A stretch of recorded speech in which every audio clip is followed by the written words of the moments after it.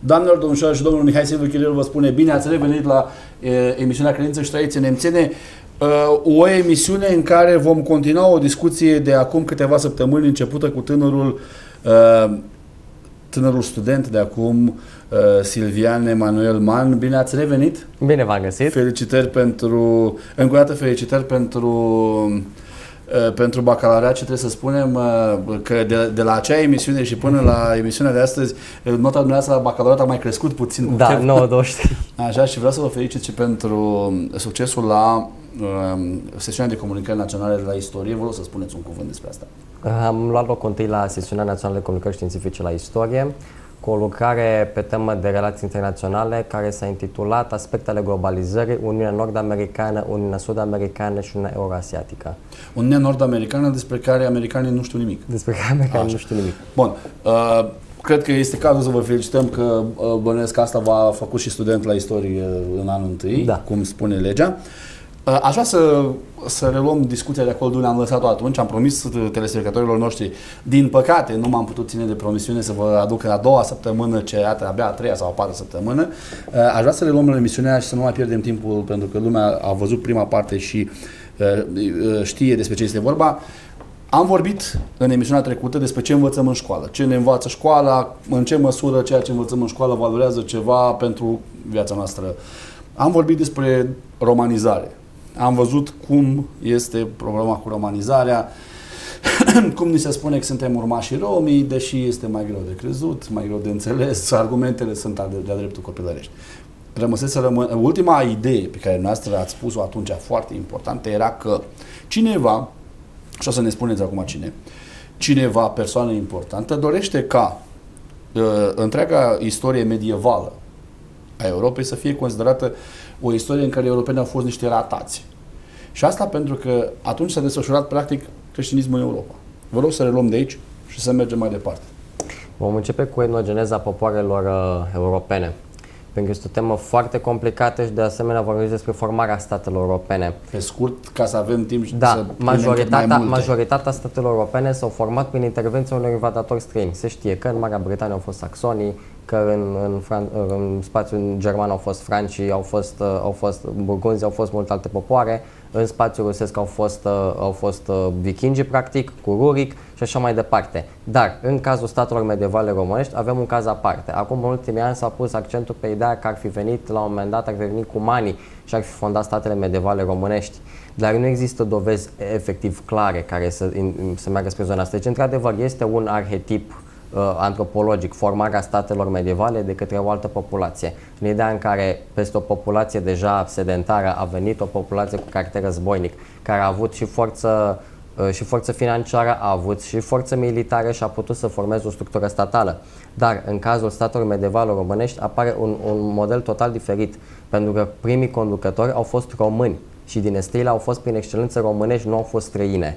Deci chiar dacă vorbim de dinasti- dinastiile din Maramureș, care au fon- fondat statul moldovenesc, ele erau tot de origine românească, chit că erau sub uh, dominație maghiară. La fel de bine avem și dinastia Basarabilor, care este tot românească. Și aici mai apare și problema maghiarizării unor lume. De exemplu, se vorbește despre domnitorul din, Mo- din Muntenia Farcaș. Dar Farcaș este pur și simplu Lupu. traducerea um, în limba maghiară a unui nume foarte românesc, care este Lupu. Că avem chiar în, tot în același spațiu avem și Sfântul Muncenic Lup. Deci este un nume perfect românesc pentru perioada Voic, respectivă. Marele Ștefan, În cel Voic. ma- Sfânt, care era Voic, da, românesc. deci Ștefan cel Mare, Ștef, Ștefan uh, Cel întâi Sfânt cel al Sfânt al Ungurilor. Ungurilor încoronat la anul 1000 este de fapt uh, are un nume românesc, Voicu. În uh, istoriografie este trecut ca Voic. La fel de bine cum alt mare rege maghiar, Matei Corvin este tot origine românească. Uh, spuneți-mi, vă rog, ce, ce, învață, ce învățăm noi despre renaștere? Pentru că se spune, uh, șablonul este în felul următor, Evul Mediu a fost întunecat. Scoți. Evul mediu a întunecat cu paranteza că cât timp noi stăteam în acest spațiu, inclusiv sub influența Bizanțului și aveam băi și aveam tot luxul pe care îl puteam permite, în vestul Europei ăștia se scăpinau de purci. Da. Uh, când se spune Evul Mediu întunecat, se, se spune iarăși cu fața spre Occident. Pentru că se, se, se aruncă la gunoi, pur și simplu, civilizația incredibilă a Bizanțului. Se aruncă la gunoi, dacă vrem, și ceea ce au rezo- reu- reușit să facă drept civilizație islamice prin Orient. Deci se spune că, domnule, lumea era în întuneric pentru că Occidentul era în întuneric. Dacă Occidentul e întuneric, e clar că lumea întreagă. Și atunci, uh, în primele secole, așa zise, când a apărut iluminarea, uh, apare curentul renașterii, care de fapt este o reînviere a tuturor formelor pe care le prezenta antichitatea. Apare o renaștere a formelor uh, și antropomorfice și zoomorfice al antichității, apare ideea de perfecțiune, de om perfect, acele statui sculptate perfect, perfect, desigur, îi avem pe Michelangelo, sunt foarte mulți sculptori care merg pe ideea asta. De ce? Pentru că apare zeificarea. Omul încercând să scape pe de-o parte și de presiunea pe care o făceau catolicii, încercând să scape pe de cealaltă parte și prin luteranism, care apare exact în aceeași perioadă, încearcă să-ți găsească o nouă zeitate, la fel cum anticii și-au creat zei după uh, propria lor înfățișare, la fel în renaștere, vest europenii își creează alți zei. Cu precizarea că Densușianu spune că de fapt anticii au preluat niște regi ai vechi deci, civilizații exact. zice, pe care, care erau atât de impresionanți pentru ei încât au crescut că sunt zei. Adică Densușianu spune foarte clar că strămoșii noștri, stră strămoșii noștri pelasgi, ă, aici fiind Hiperborea, despre care vorbește antichitatea grecească și nu nordul Hiperborea nu era în Suedia, pentru că ei nu știau unde este Suedia, nu știau că există Suedia. Uh, Nesușeanu spune că ei au preluat niște, o, o dinastie, dinastia Uranul, lui Uranus, Cerul și așa mai departe, uh, regi pelagici și au făcut din ei zei. Asta era diferența de civilizație între acești pelaji strămoși noștri și primitivi, că până la urmă grecii, înainte de a fi grecii pe care știm noi, au fost un trip de păstori primitivi care... Împrășteați pe insule. Care era, era tot așa, o, cum a spus dumneavoastră, o, un, un, popor mic și războinic care s-a ajutat pe niște popoare mai sedentare și le-a preluat cultura. Și, bun, revenind. Deci asta au, au reînviat rom, în renașentiști. Da. Deci în, rena, în renaștere, practic, despre asta este vorba. Dar spuneți-mi, vă rog, deci lumea, elevul nostru creștin, când pe noi ne interesează mai ales elevul creștin care acasă învață cel învață biserica și acolo se duce așa aude de renaștere. El ce află? El află că de fapt renașterea a adus o reînviere a culturii. A adus o reînviere a culturii sau a adus o, o rupere a culturii de Dumnezeu și o aruncare ei într-o, într-o, într-un nimic până la urmă? Având în vedere că renașterea, s-a, lung, renașterea s-a manifestat mai mult numai în spațiul vest-european, deci strict în spațiul catolic și după aia în spațiul protestant, Uh, practic a dus la o încintire și mai tare în păcat și în greșeală. Pentru că chit că se vorbește că Ștefan cel Mare este un domn renascentist, asta sunt numai tâmpenii. Nu putem vedea o renaștere clară în spațiul românesc. Desigur, se vorbește despre umanism, despre uh, cronicari, despre Nicolae Honterus, Nicolae Olacu și așa mai departe. Dar nu există... Ce? Deci, în afară de, desigur, influențele care s-au produs în Ardeal, tot sub influența catolică, sub influența maghiară și așa mai departe. În țările române, deci cu precădere în Moldova și în țara românească, nu observăm o, o penetrare a curentului renascentist. Deci în tot spațiul ortodox, pornind Rusia, uh, țările române și, și în Balcani, s-a păstrat exact înseamnă, aceeași tradiție bizantină. Ce înseamnă umanismul? Că lumea are impresia, domnule, umanism e o chestie de omenitate. Se confundă omenia cu umanismul. Care e diferența între omenie și umanism? Acum, cel puțin în ultima vreme, umanismul a căpătat și alte laturi, că apar diferite asociații, Asociația Umanistă pentru Protejarea Drepturilor Omului, care apare frumos la televizor, chiar acum, după bacalaureat și ghiciți pe cine a dat vina. A dat vina pe orele de religie, că din cauza religiei am căzut noi la bacalaureat. Uh, umanismul în forma lui clasică este o e practic o punere a omului în centrul unei credințe. Antropocentrism. E, e antropocentrismul care în momentul de față distruge societatea pentru că neavând un reper clar, e clar că prin antropocentrism tindem spre anarhie curată. Deci să ne înțelegem clar, umanismul este o doctrină. Am înțeles că la un moment dat a fost prelaș de francmasonerie și... Deci filozofică. Pe... o doctrină filozofică uh, care pun, ce pune în, în, în, în, în centru ei omul scoțându-l pe Dumnezeu. Deci asta este miza, de fapt. Ea îl pune pe om în centrul ei, dar îl scoate pe Dumnezeu. Și scoțându-l pe Dumnezeu, îl lasă pe om orfan, practic. Omul se uită în oglindă și se spune ce frumos sunt eu. Adică total diferit de ceea ce spunea Țuța că definiția omului se găsește în templu, adică în biserică. Dar e și mai criminal cum uh, anumite personaje din istoria românilor sunt clasificate ca fiind umaniști, cel puțin cronicare. Chit că au făcut ei destule greșeli, că erau o totală contradicție cu familia domnitoare, dar nu putem să-i clasificăm pe ei ca umaniști, să fim serioși. Deci, mai ales, mai ales în contextul în care avem și cronicari care au intrat și în Sinaxar. Vorbesc aici de, vorbesc aici de ierarhi. Deci da, e da, clar da. nicio legătură cu umanismul european. Unul dintre cei mai celebri umaniști ai renașterii este, este uh, Niccolo Machiavelli, care a scris acea carte Il Principe. Uh, este un tratat despre cum să fii, cum să fii un ticălos politic. Cred că despre E celebru, omul care a scris celebru scopul scurge mijloacele. Adică a spus, domnule, pentru a atinge un scop nu contează ce mijloace folosești. Practic, zdrobind morala complet. Uh, un alt umanist a fost uh, Dante Alighieri, care uh, face, el este cel care a făcut uh, viziunea aceea despre rai, purgatoriu și, și iad. Și foarte interesant. Dacă vedeți, foarte interesant. Ei nu numai că au, au, uh, au reînviat uh, zei, uh, astea Zeitățile. Prim, nu, principiile grece, dar au reînviat și zeitățile. Au reînviat zeii au readus la viață zeii, pentru că la un moment dat în, în adâncurile romantismului are nici o carte, mi se pare, moarte, ad, amurgul zeilor. Tocmai despre. Deci când îi reînviază, când îi ucid din nou.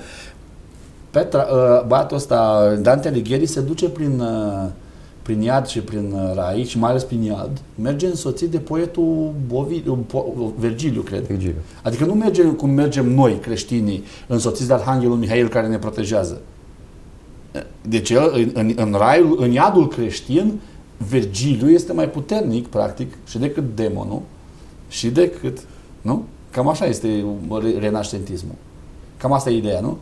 Exact, pentru că în cel puțin în afară, în afară de Dan, deci toți cei care au contribuit și aici vorbesc mai ales de Leonardo, care acum este văzut ca omul, omul tuturor veacurilor, dacă se poate. Dar, într-adevăr, au existat genii în renaștere. Problema este în ce mod îți folosești genialitatea. Pentru că au adus ei o evoluție la o contribuție la evoluția omenirii, dar, într-adevăr, Leonardo a avut niște invenții tehnice extraordinare pentru vremea respectivă. La fel și ceilalți. Dar problema care este? Operele lor. Vorbesc de opere literare artistice. Au dus la o îmbunătățire a sufletului omului, l-au făcut mai complex, l-au făcut mai stabil, mai, mai, mai, mai, mai bogat în ceva Asta este întrebarea pe care trebuie să ne o punem. Cel puțin, într-adevăr, viziunea lui Dante asupra iadului este extraordinară. Toată lumea vorbește de, a, dacă n-ai citit, nu, nu, știi, nu, nu știi nimic. Dar um, este o viziune corectă, mai întâi de toate? Este o viziune corectă din punct de vedere teologic, din punct de vedere creștin, asupra iadului? Păi există, că... există în credința ortodoxă ideea de purgatoriu? Corect. Foarte puțin dintre noi ne punem întrebarea asta și chiar, chiar ne, ne, dă, ne lasă impresia că, fiind renașterea și ar trebui să fie un boom teologic în perioada respectivă, ne dă impresia că acea viziune este una teologic corectă, când de fapt ea nu este. Este total, e total anapoda.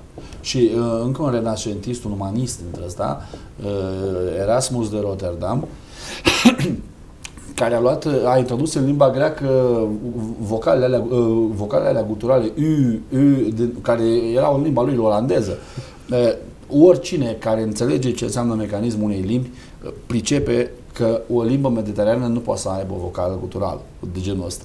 U, U. E, Erasmus de Rotterdam și-a dat cu părerea despre limba greacă. Știți că a început și o controversă, sunt două forme de a citi limba greacă veche. Și una dintre aceste forme este cea lui Erasmus de Rotterdam, care a introdus în loc de Y-ul pe care îl știm noi. Acum, acum desigur, problema lui Erasmus era și alta, că el având afinități teologice, nu putem să-l numim teolog de meserie, a încercat să facă jocul perioadei respective, care însemna despărțirea de trecutul grecesc, pentru că, într-adevăr, sfera de influență grecească a, a fostului Bizanț încă deranja. Pentru că limba greacă, practic, înseamnă limba teologică a ortodoxiei. Da. Pe când ei trecând cu totul la limba latină, traducerea vulgatei care a stricat absolut toate sensurile din, din scriptura grecească, ei acum au încercat să, să schimbe din nou sensurile cât se poate ca să-și poată să justifice erorile lor teologice. Deci demersul lui este justificabil din acest, din acest punct de vedere, într-adăvăr aplicat, aplicat de este de aplica cumva ideea că, practic, ideea lui, uh, lui Machiavelli a fost uh, adoptată de, de, de, de, de toți în perioada respectivă și a fost perpetuată până în zilele astăzi, cu scopul scu, scuză mișloacele. Deci ei au, ei au făcut absolut orice să își atingă Dar este scopul. de neînțeles totuși cum un, un, uh, acești oameni care studiază lingvistica nu, nu se sizează acest lucru pentru că ar putea să facă comparativ te uiți la aparatul fonetic al limbii grecești, spaniole, italiene, evreiești, pentru că sunt toate în bazinul Mării Mediterane, Mediterane și observi simplu, fără probleme, că aparatul fonetic e același. E, dacă vreți, vă dau și explicații meteorologice suedeze și daneze și olandezi vorbesc mai cu gura închisă pentru că inspirația aerului rece le poate provoca așa, ăștia vorbesc cu limba jumate scoasă. Și chiar vorbesc... Și mai ales că acum apare și diferența. Și că chiar vorbesc cu o limbă limba... îi, face parte din grupul Kentum, una din grupul Satem, așa că clar, nu au nicio legătură. Și chiar vorbesc așa cu limba scoasă, adică vorbesc și nu au cum să aibă vocal. Bun, deci, Asta a fost renașterea. Deci noi învățăm că renașterea, noi învățăm în școală și rămânem unii, unii rămânem cu ideea aceasta că renașterea a fost o renaștere a umanității. Că are o renaștere a umanității din ce? Din, din, din ruinele ei? Din, din ruinele ei? Nu are sens. Nu are sens, pentru că, uh, bun, putem, noi putem să spunem că a fost o, o, o explozie a umanității din, uh, din închisterile Bisericii Romano-Catolice. Romanul catolicismul a făcut și aș vrea să, fac, să punctați aici iarăși o greșeală care îmi se atribuie nouă. Romanul catolicismul a făcut din uh, date geografice dogme. De aceea, Giordano Bruno a fost ars Peru uh, și Galileo Galilei și Giordano au, pentru ortodoxie n-a fost nicio problemă, că soarele se învârte în jurul pământului, că pământul se învârte în jurul... Noi nu avem un sinodele noastre. Și, și, și cel puțin, chiar în spațiul ortodox au și apărut primele teorii, cum ar fi teoria geocentristă, da. și care este o teorie universal valabilă, nimeni nu a fost condamnat pentru asta, este acceptată, cel puțin Giordano Bruno și Galilei, dacă ar fi trăit în spațiul ortodox, nu s-ar fi întâmplat ce s-a întâmplat în spațiul Corect. catolic. Pentru că, pentru că uh, biserica nu a făcut un uh, punct de dogmatică dintr-o problemă de astronomie. Stri, da. Avea păreri personale despre, gen, despre treaba asta, inclusiv uh, Ioan Damaschin. Avea, uh, avea păreri și astrologice, nu numai astronomice.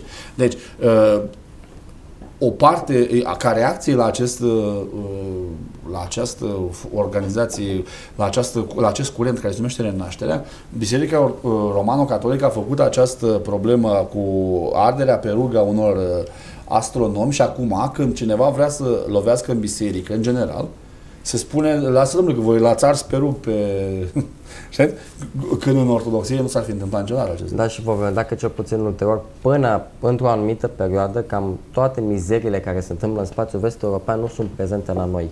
Deci la noi abia începe să, să apară aceste probleme, începând cu iluminismul.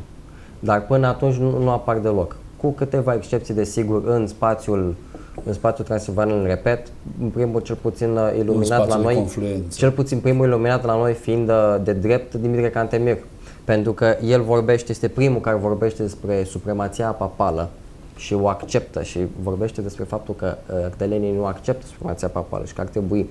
Este primul care zice că creștinarea românilor nu s-a produs odată cu apostolatul Sfântul Apostol Andrei și că a fost făcut abia după anul 300.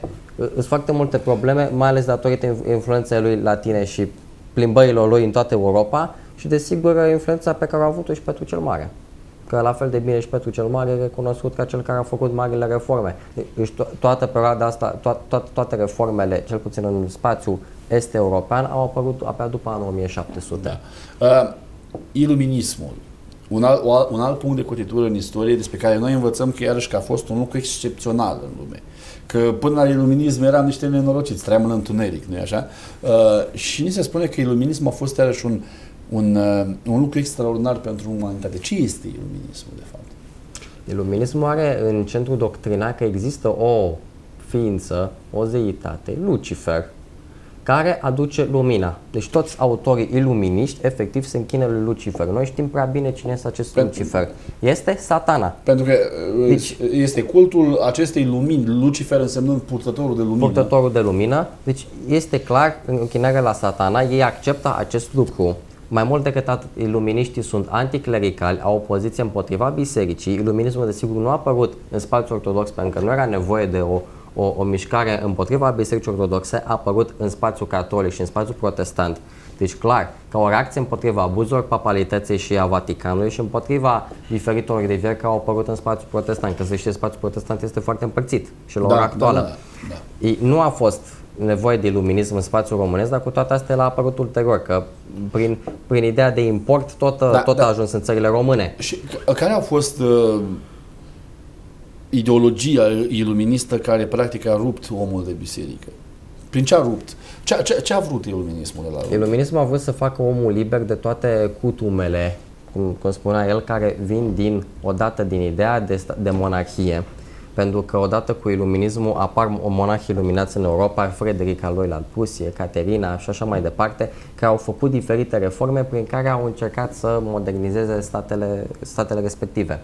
Uh, pe de cealaltă parte, punctul foarte al iluminismului a fost Revoluția franceză, 1700 Aș vrea, să, 89. Uh, aș vrea să ne oprim înainte de o pauză publicitară și să reluăm Revoluția franceză, da, și, franceză. și mai ales uh, aș vrea să vorbim după aceea despre uh, schimbarea tradițiilor uh, în, în estul Europei. O pauză, o scurtă pauză publicitară și revenim în direct.